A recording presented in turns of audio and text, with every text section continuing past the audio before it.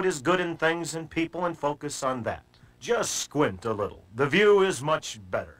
I think that is what they meant by not being able to see the forest for the trees. Mitch Anthony reminding you once again that life is whatever you make it.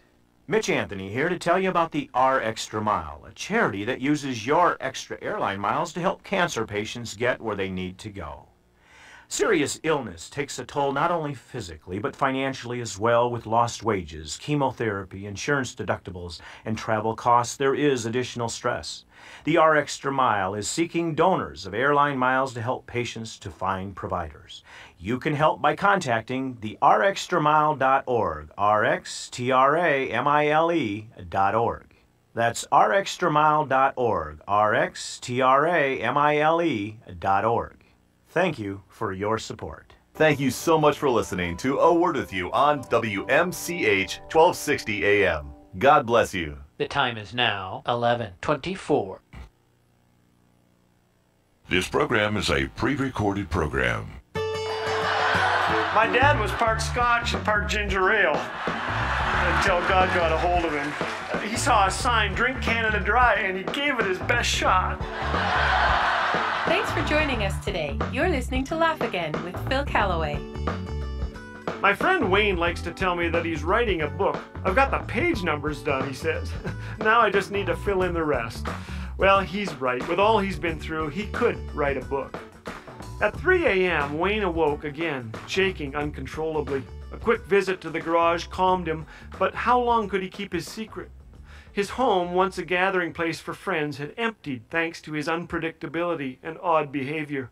His children found excuses to be elsewhere. So did their friends. And Wayne's wife? Well, Lydia was watching the boy she'd loved since high school systematically destroy himself. Wayne and I grew up together. I played hockey with him, played music with him, worshiped God with him. But I had no idea his days were now starting in a liquor store parking lot, where he was thirsty for the doors to open. I hope you're not driving drunk, Lydia said one day. No, said Wayne. She knew he was lying.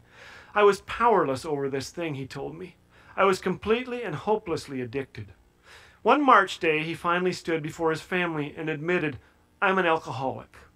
Ironically, few have opened their homes to more drug addicts and alcoholics than Wayne and Lydia. They'd seen the enemy's tricks, they'd seen lives destroyed. So had their children. But they'd also seen the transforming power of God's grace. In a moment Wayne will never forget, his daughter said, Dad, you need help. You need to go to a recovery center. Broken and desperate, Wayne finally agreed. Next came the pain of detox and the humiliation of telling friends, many that he'd helped out of addiction, that Wayne Nelson had been living a lie. Ten days later, his son Craig drove him to a recovery center 500 miles from home. I watched him drive away, Wayne remembers, and the last shreds of my pride evaporated. After years of telling addicts how to find freedom, I was the addict. My life, my family, my reputation, my future lay in ruins. How had it come to this? Wayne attended a Christian school, married a Christian gal, enjoyed business success and involvement in the church. He even held a job with a prominent Christian organization. I guess my upbringing was filled with rules for almost everything. Impossible expectations for a guy struggling with depression, substance abuse, and sexual purity, he said. Keeping struggles inside only helped them grow. Each Sunday, Wayne remembers, I looked around the church and wondered how everyone else could have it all together when I was such a mess. Alcohol helped dull the pain and silence the guilt. It soon became my refuge. All along, I relied on my own strength to fix the hurt instead of acknowledging that God is the giver of all good things. I finally understood that my own efforts got me nowhere, that every good and perfect gift really is from above. Everything I held on to so tightly was stripped away. In recovery, I found peace and forgiveness, but the consequences were enormous. My family had lost their faith in a husband and dad.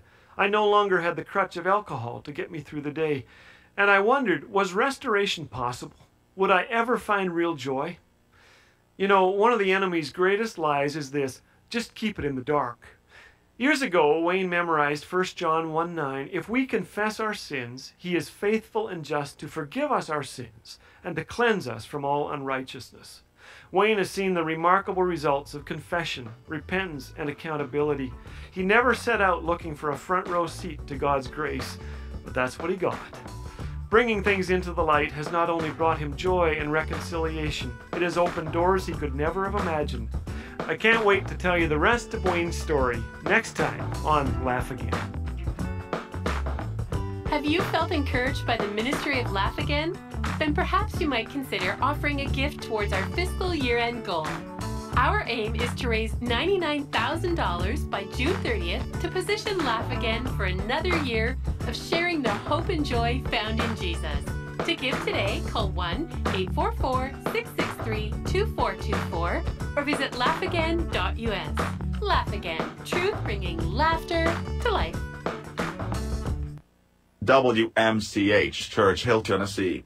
I am not ashamed to say Jesus is the Lord.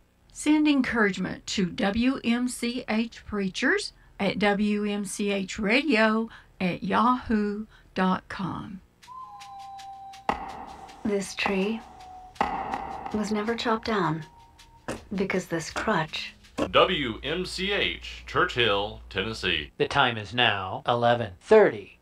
Welcome to the Community Information Program with Mary and Ron Gordon. Should you have any topics you would like Mary and Ron to cover, please text us at 423 357 5601. And now, the Community Information Program with Mary and Ron. Well, welcome, listeners, and thank you for tuning in to Community Talk program today. Uh, join us each Tuesday from 11:30 to 12 for Ron and myself, Mary, to keep you abreast of some interest, interesting topics.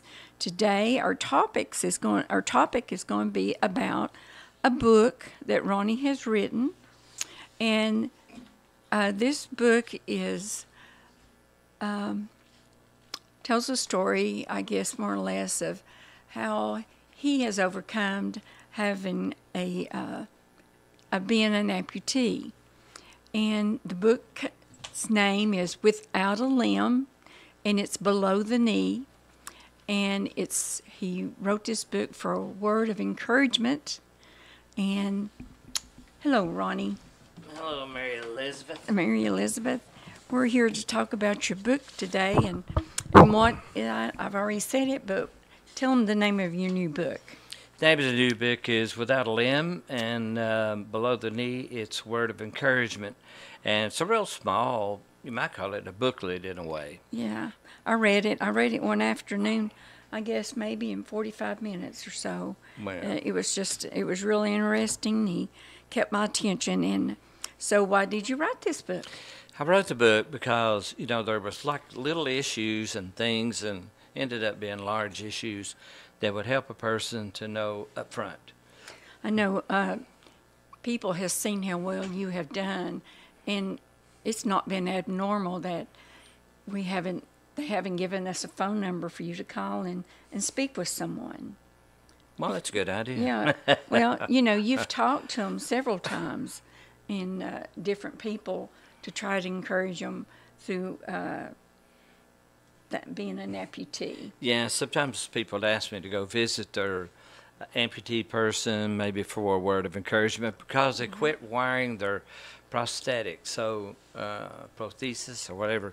And uh, I did go talk with them, you know, see if I could help them and show them that I had one. Right. And, you know, things can be overcome. Right. Because, you know, you don't let it hinder you at all in things that you Got do. too much to do. Got too much to do. yeah, so, yeah, yeah. So we're You know, kind the of manager here at the radio station have to take care of the physical parts as much as the mental parts. right. So, uh, so you wrote this book of encouragement for someone, and why did you write another book?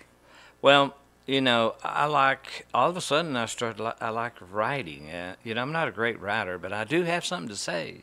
So I figured if I get this book in somebody's hands that need it, it might save a life. A lot of, no, I don't want to say a lot, but some amputees in their life That's right. because yeah. they just can't handle whatever it is. I'm not sure, you know.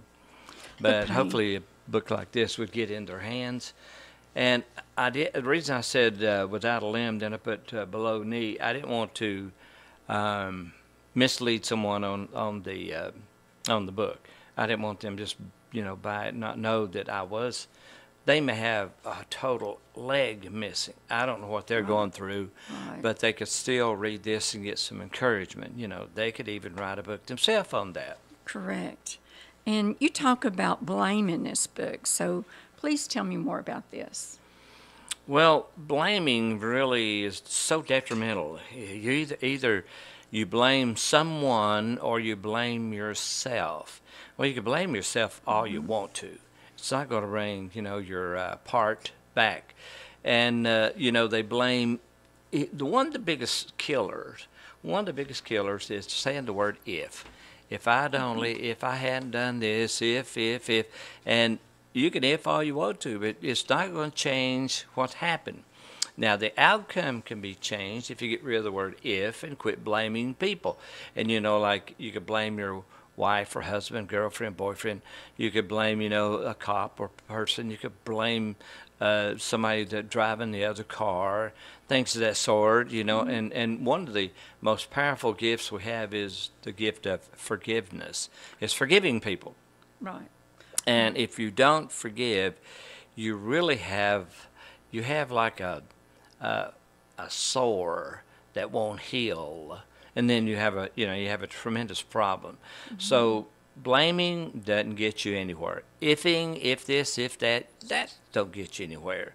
You know, face up, it's, it's there. Go ahead and make up your mind. Hey, it's gone. Let's see what we can do with this, and move on.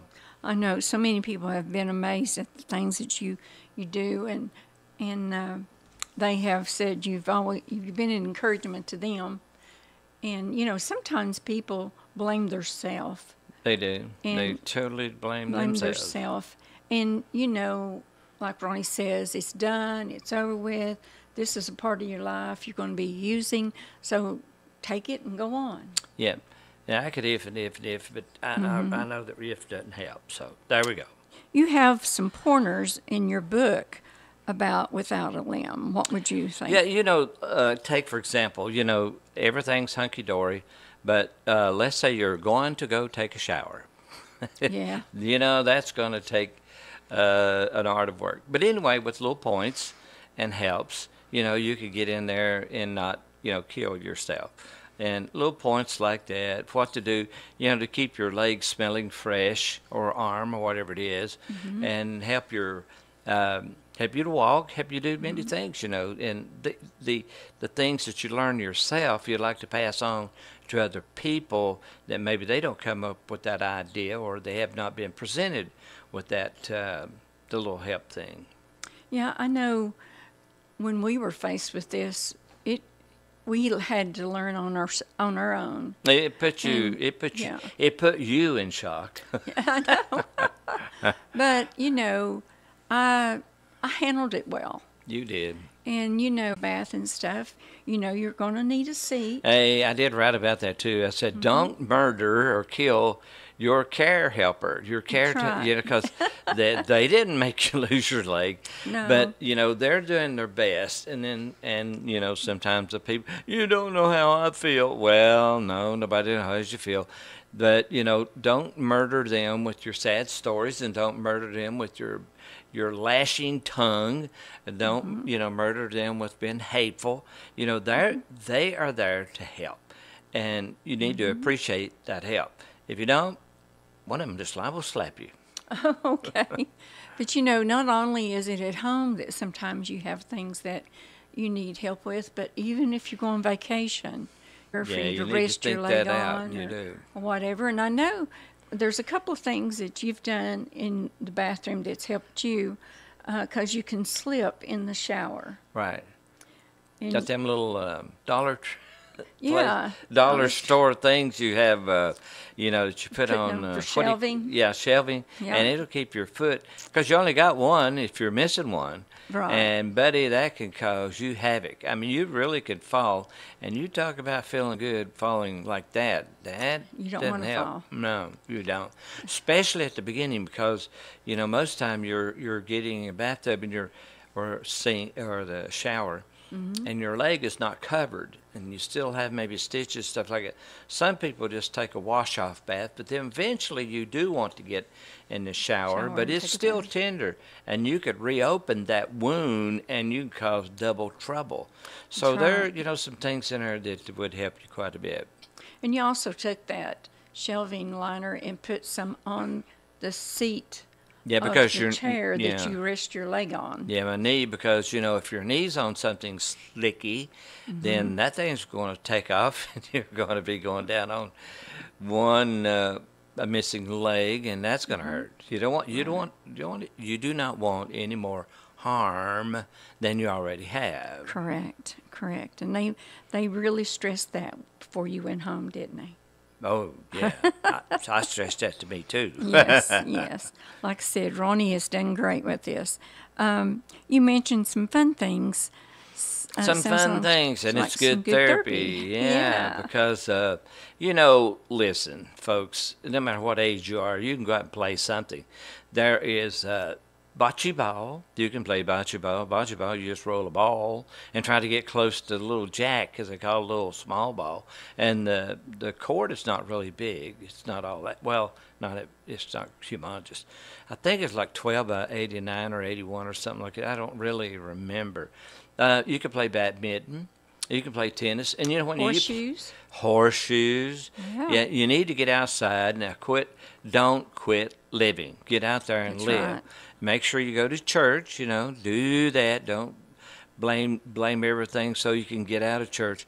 But uh, that's fun. You know, going to church. It should be for you. Yes. Um, you can play. Uh, uh, what's that? Pickleball. Pickleball. Pickleball, yeah. Tennis. You can play uh, frisbee golf or play regular golf. Now frisbee golf, you know, you just you walk around, which is good for you, and you get to throw, you know, disc, and really should be disc golf, and um, Mm-hmm. you get to throw those, and uh, yeah, yeah, it's a lot of fun you can have still, without dying, you know.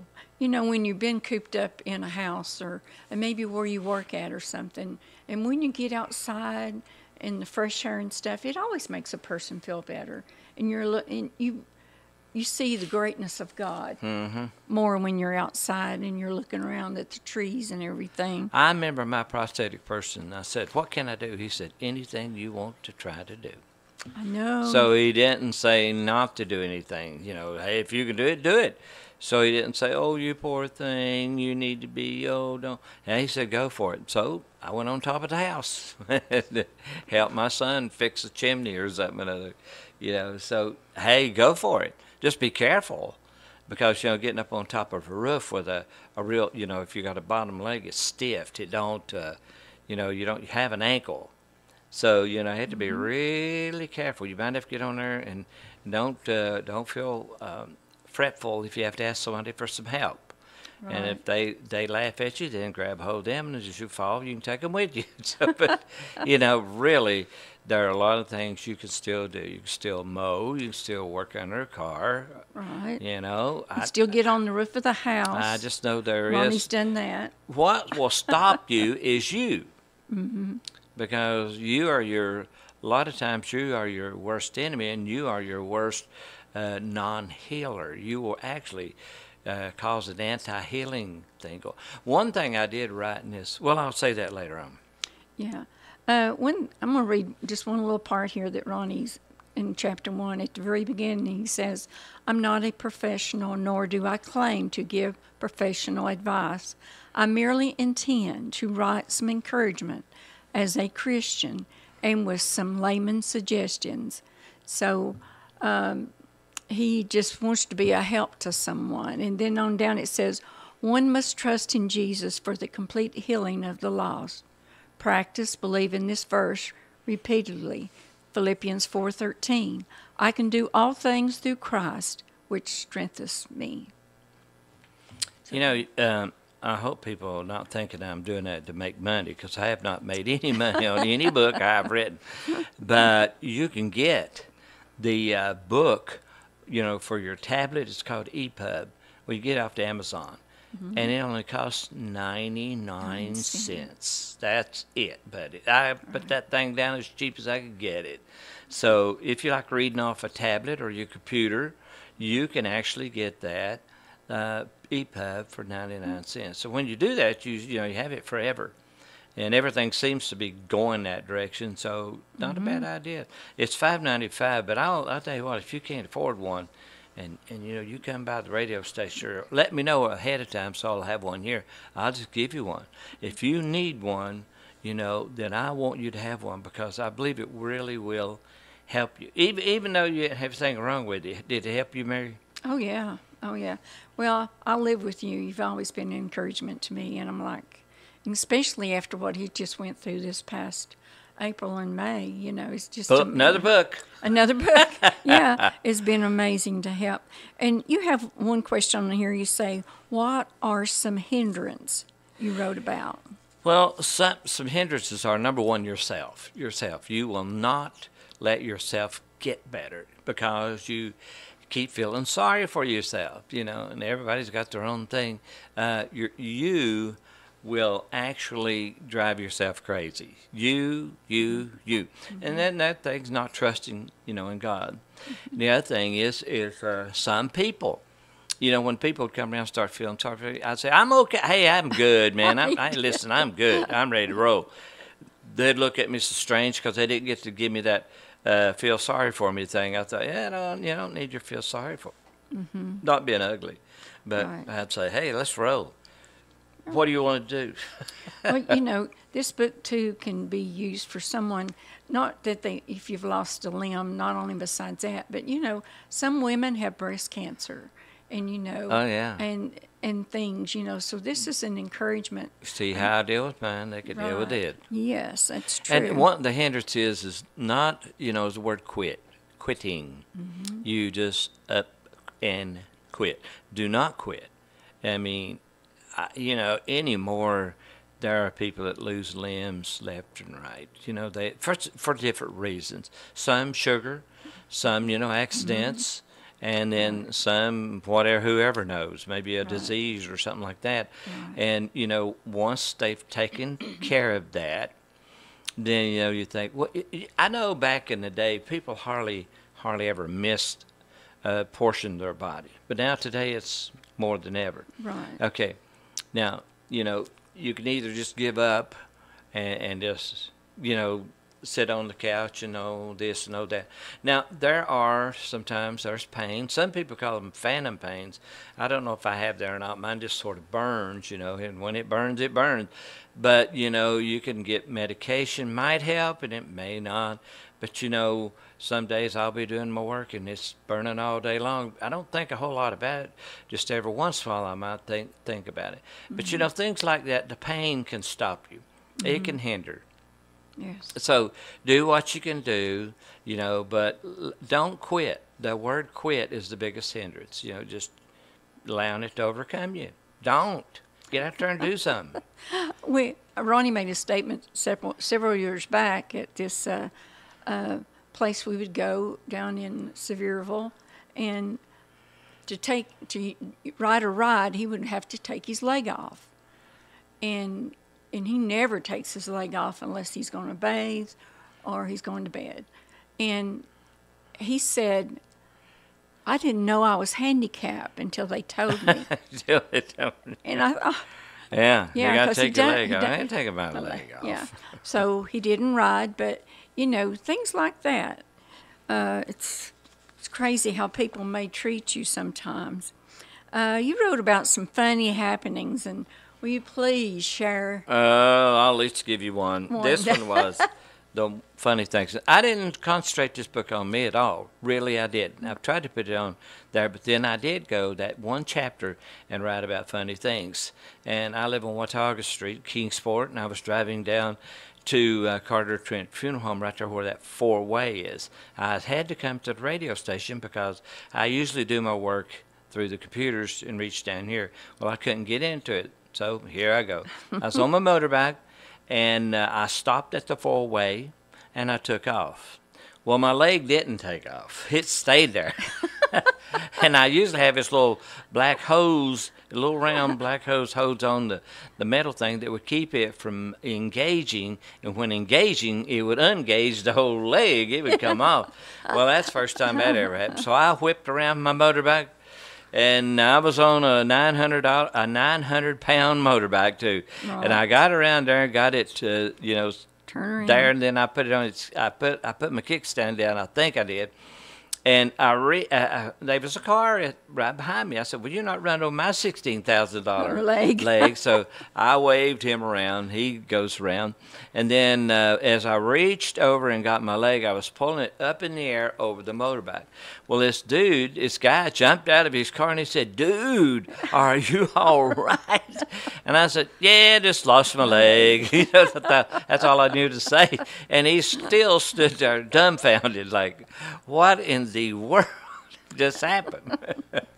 No, we just, you never let it hinder you. A lot of people thought, well, you'll never ride a motorcycle again. Well, you showed them people Four wrong. months later. Four months later. From the happening, we yeah, rode the motorbike. Rode the motorbike, Remember that? Yes, uh-huh. Well, yeah, you like to And ride a motorbike. Yeah. I do. And uh, you gave some helps in this book? Yeah, some little helps, you know, things like what you was talking about, that, uh, you know, uh, things about not getting out. Uh, no, no, no. Being at the house and say you've got one leg and you're at the very first beginning and you put a sock on. Mm-hmm. Danger. Do not wear a sock unless it has that grippy stuff on it. On your other foot. that- Yes, because yes. you will fall. Fall. Remember that guy I told him, I said, make sure you don't wear a sock. Make sure you got a grippy or a shoe or something that won't slide. And then the next time I seen him, he said, I did it. And I said, what'd you do? He said, I did exactly what you told me not to. He said, I put one of them so- my sock on, and he said, I was going through the house, and he said, I was all over the floor. so, Yeah. yeah, you want things like that, you know, helps, you know, helps to keep it clean, helps to, um, you know, you, you know, like, hey, take a bath, every, shower, whatever, every, Every- night, yes. and make sure you clean that prosthesis thing. You Right. make sure because it's touching you, it's been through sweat, blah blah blah. And I've heard people say their smell and said, "Don't yours?" And I go, "No, I don't reckon it don't." Mm. But now sometimes you take like vinegar pills and garlic pills, it will bleed through a little bit. You will smell it. Mm-hmm. But if you if you if you take care and keep it clean, it, number one that's healthy reasons, and number two, you know you're keeping a good clean leg without something you know occurring that might happen on down the road. Right. And, you know, he does use, it's just a regular antibacterial uh, soap. There's nothing special. He just makes sure he washes and cleans that and cleans his leg every day. Well, a lot of them tell you to use the same soap that you wash in. Like if you Mhm. use this soap, use that to wash your your piece in and clean Mhm. it, dry it up, give it time, you know, dry it when you get back in it, da da da da. Mhm. And I, I a lot of times have been in mine, especially when I was working the other job. I was in my leg ten to twelve hours. Mhm. I only slept five so many hours. You know, I didn't sleep sleep a whole lot, and I did that for two years, and still I sleep little. But you know, if your leg's in there that long, you know when you get it out, you do need to wash and clean it. That'll help out quite a bit. Right. Okay. Okay. Uh, it seems you mentioned the soul of you, and one needs Jesus merely to be completely healed. That that's the whole thing. If you're talking about healing, we got to talk about two things: mentally and physically. Mhm. Okay. And you can do all what the doctor tells you to do, but your mental person, you know, has to go somewhere. Mhm. And so that would be trust in the Lord Jesus Christ. And that verse you read, you know, I can do all things. Through A, a person that is without Jesus, without the Creator, Mhm. you're a creation, he's the creator. And he made you.